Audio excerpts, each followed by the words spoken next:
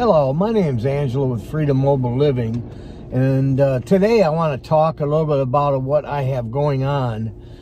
Uh, what I did on the social media platforms like uh, Facebook, uh, some of the groups that are on there dealing with rideshare, also some groups on uh, Twitter, and then also uh, Instagram.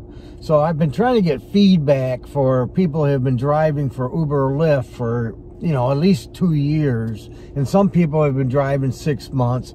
And but uh, there's a lot of people have been driving over three years. So what I'm trying to do is I'm trying to get a feel not only how the industry is, but also to find out exactly what the drivers think about what they're doing right now. So we all know the complaints a lot of drivers have with Uber and Lyft, and I've always been at the, I guess I'm at the crossroads where I say you can't argue with corporate or you can't argue with companies or, or they're pure.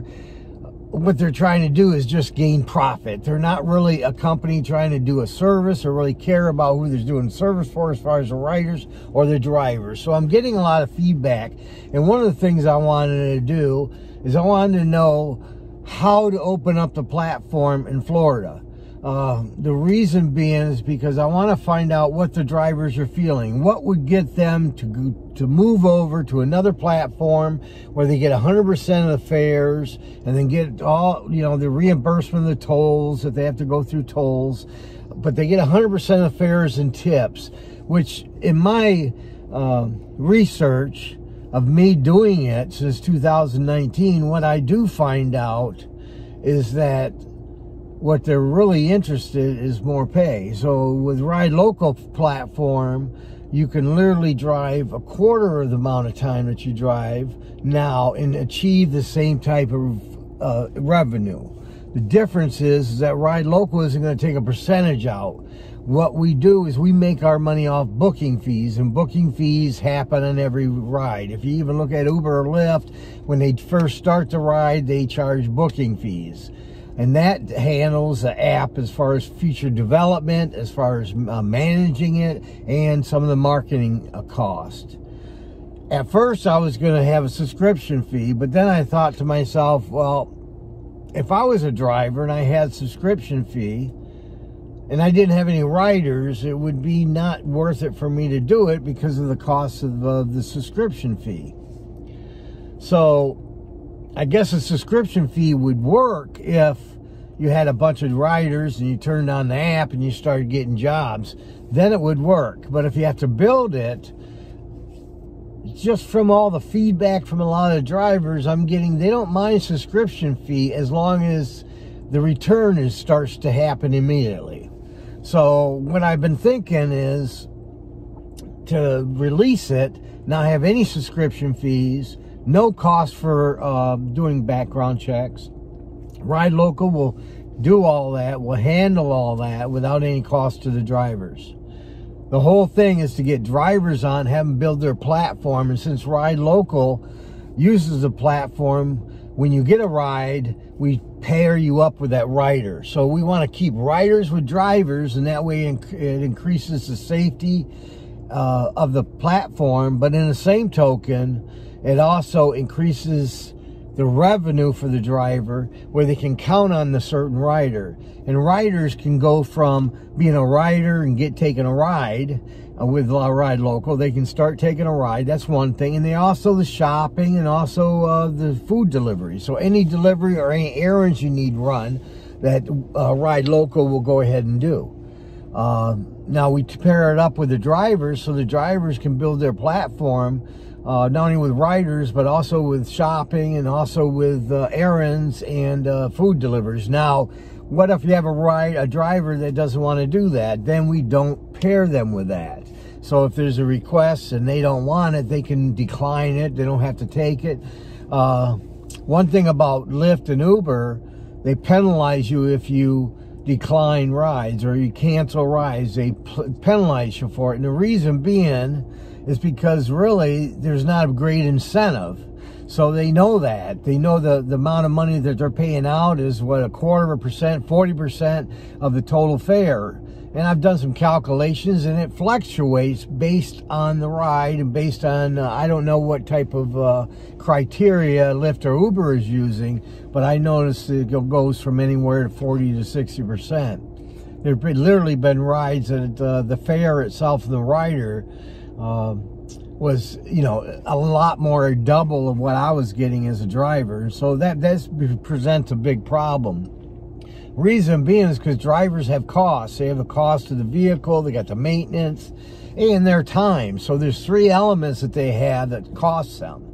So what we try to do is eliminate that by increasing it, the fares by get, giving them that 100%. Now, how do we determine what the fares are? That's determined based on the market of Uber and Lyft. And uh, we just try to do that based on Uber and Lyft.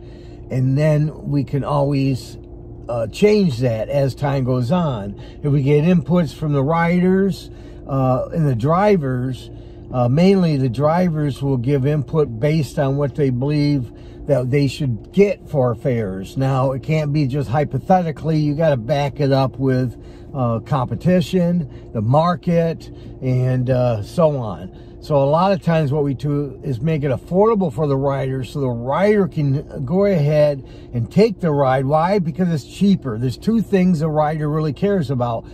Cost, right? The cost of a ride and reliability. And in case there are some cases where a rider will pay more money in order to achieve reliability. Uh, they want to know when they request a ride on a particular time and date, or if they have an on-demand request, they want to know that they're going to get a, a driver immediately. Uh, and that's why time is an essence, an element. Since the pandemic and a lot of things changed in the rideshare platform, a lot of your uh, a lot of your time and elements, uh, even Uber and Lyft have had wait and save, and they, they stretch out the time from the time that the rider requests a ride to the time the driver picks them up. What we want to do is we want to uh, shorten that, but we also want, as a just imagine as a driver, if you were a driver on a ride local platform, all you'd have to do is build the platform to what you wanted. So let's say you didn't like to work on Sundays or particular days. Well, really, a lot of times when you drive, if you're consistent on your driving, and, and I'll give you an example, if you drive every morning, then your ride to work, your airport rides, and those. What I have done is sometimes I don't like to do airport rides, so I'll go ahead and uh, I'll, I'll put my app on later in the day, and that way I'm not getting these airport rides. I don't mind them, but I also like to look at the other market for some drivers because I, I, hypothetically I want to see, hey, what if a driver didn't want to do airport rides? Because there are some that do not because of the length of time it takes them. Once they do the airport ride, they go away for an hour or two hours. Now, what do they do? They got to drive all the way back at their under uh, on their dime. And really, I can understand them not liking that. But I, the platform that we're building is different so let's say you had to go to an airport ride an hour away. We will team you up with riders within that city, not only on a destination filter if you want to come back immediately, or you can stay there and drive and offset your cost. There's a lot of things we want to do to do that. But really what I want you to do is I'd like you to comment below and tell me how we should open it. Should there be subscription fees initially or not? Or how should what type of writers are we looking at what would we like to do as far as the platform goes so if you can comment below and tell me what what your thoughts that you have should there be a subscription fee or should there not now don't base your decision on because i don't want to pay money I mean, if I had to pay, let's say, example, $99 a month opposed not to, so I'm going to just say I don't want to pay money. Yeah, so it's all about what you want. So if you want to comment below and let me know if a subscription or now no subscription fee is important. Uh, another thing I've thought about is if a right or a driver got five drivers, then we grandfather them in and uh, not have them ever ever have a subscription fee if that's something we might do down the road. So give me a comment, give me a thumbs up on the video if you liked it. But I'm really trying to get feedback from uh, rideshare drivers uh, for Uber or Lyft, or if you're driving for another platform. But right now, I'm finished the coding for both apps. The Ride Local app, the customer app, uh, is completed. And uh, the driver app uh, for the Ride Local platform, I just finished coding and I sent it over to Apple and Google to be approved. So what they'll do is test it, make sure there's no crashes, no bugs in it, and then they'll go ahead and release it once they uh, finish their testing. Um, I would suspect within a day or two, I'm going to have it completed. And uh, also another thing is about having a launch. So in order to launch it, I would like to probably have a live broadcast uh, but if I can get a bunch of drivers sign up on the Ride Local, and then you'll go to www.ridelocalflorida.com. If you can go on in and hit the driver tab and go ahead and fill out the information. And once you do that, there's no cost to you whatsoever. So I've already decided that. The subscription fee might come into play down the road after the platform's been built. But it won't be for the ones that have built the platform, helped build the platform I will grandfather them in where they'll never ever have subscription fees. So if you want to, if you're interested in driving or just interested in knowing more information, go ahead and go on to the ridelocalflorida.com uh, website and there's information on there. Go ahead and go to the driver tab. Uh, right now I have it set up where the rides are done on the website that's going to change once I release the app, the app because then everything will be do based on the app. Uh, QR codes are another thing. And another thing to think about is what type of uh, promotions should we run initially. Uh, but I am really seriously thinking about having a live broadcast on YouTube, and that way uh, I'll launch it from the broadcast, and that way we can, people can tune in and then ask questions or whatever they want to do but I'd like to have an onboarding session. So anybody who wants who is interested in driving or just possibly interested in driving go ahead and sign up. Now let's say you don't live in the city that we're going to open up at. Right now we're going to open up down in Bradenton Florida. Uh, and then we'll probably hit other cities as time goes on. I do have some drivers are interested in Tallahassee and Cape Coral.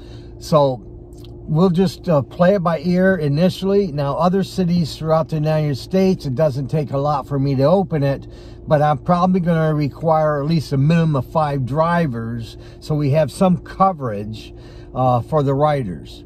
So if you're interested, if you're if you're in, let's say, if you're in any other city, uh, you could be at Clearwater, or you could be over in Arizona, or in, in Michigan, uh, Detroit area, wherever you are, comment, tell me where you are. Look on the website, ridelocalflorida.com. And when you do that, go ahead and sign up on the driver tab and then we can start getting the ball rolling. If you have questions, we'll fill you in and we'll go ahead and answer those questions as they come to us. And I will definitely be putting out some more videos. So anyhow, if you like this video, give me a thumbs up. That just helps the video and lets people know that people are at least viewing it. The other thing, if uh, you if you're really interested in building this and becoming a separate platform in the rideshare game, go ahead and subscribe because I'm going to alert you on any video that comes up. You'll be the first to know. So go ahead and hit the subscribe button and then I will go ahead and uh, get back with you on that. But seriously, folks, uh, if you're interested in changing the game, you're interested in making more money, 100% of your fares and tips, and you're interested in building a platform where the drivers are going to have the voice on how it's built, how it's structured, and how we uh, roll it out within this, their city. So if you're new in a city, if you're in, let's say, Vegas or something, and you're there and you say, okay, I want to open up in that area, then you can help spearhead that and there won't be no cost to you whatsoever to do that. Initial drivers until the platform gets open and our cities are full, then we'll go into the subscription fee. But prior to that, uh, no subscription fee for anybody. And if you get in early, like now, then you will be grandfathered in you'll never have a subscription fee. Just remember, background checks, everything's paid for by Ride Local. Uh, we're here to open up the platform. I think it's the right timing is good. I think people are tired and sick and tired of Lyft and Uber. I think they want reliability and they want lower fares. And so let's put something together so we can give it to them what they want and we all will be seeing each other at the top. Thank you for watching. Thank you for tuning in. I know it's uh, you have to take time out of your schedule in order to do that, and I appreciate that from the bottom of my heart. Thank you for watching, and I hope to see you again. Remember to subscribe, and then I will see you at my next video. Have a blessed day, and may the Lord watch over you. Thank you.